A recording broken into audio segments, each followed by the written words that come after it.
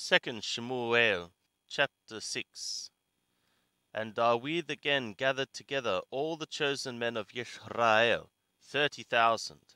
And Dawid arose and went with all the people that were with him from Baale Yehudah to bring up from thence the ark of God, where is called there the name of Yahweh of hosts that sitteth above the cherubim.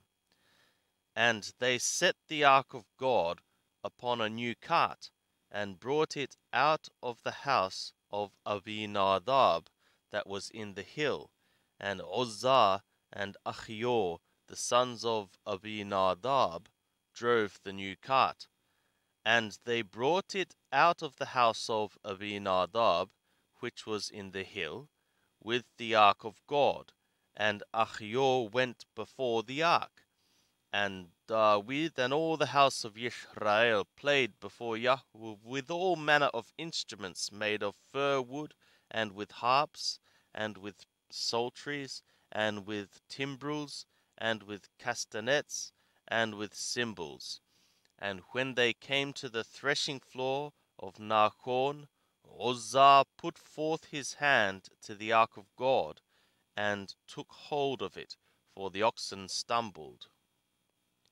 And the anger of Yahweh was kindled against Uzzah, and God smote him there for his error. And there he died by the ark of God. And Dawid was displeased because Yahweh had broken forth upon Uzzah, and he called that place Pereth Uzzah to this day. And Dawid was afraid of Yahweh that day, and he said, how shall the ark of Yahweh come to me? So Dawid would not remove the ark of Yahweh to him into the city of Dawid, but Dawid carried it aside into the house of Obed Hedom the Gittite.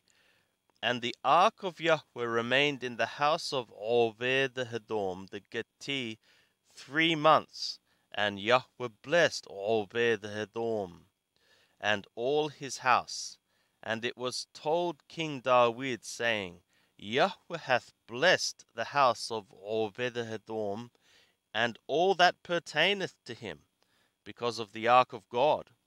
And Dawid went and brought up the ark of God from the house of Obed-Edom into the city of Dawid with joy.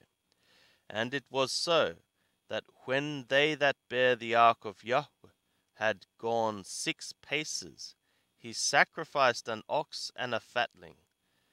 And Dawid danced before Yahweh with all his might, and Dawid was girded with a linen ephod. So Dawid and all the house of Israel brought up the ark of Yahweh with a rumbling roar, and with the sound of the sounding horn.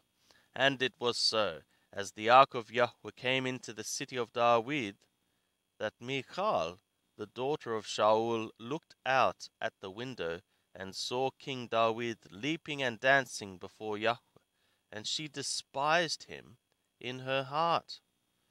And they brought in the ark of Yahweh and set it in its place in the midst of the tent that Dawid had pitched for it.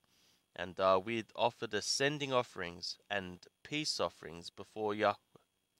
And when Dawid had made an end of offering the ascending offering and the peace offerings, he blessed the people in the name of Yahweh of hosts.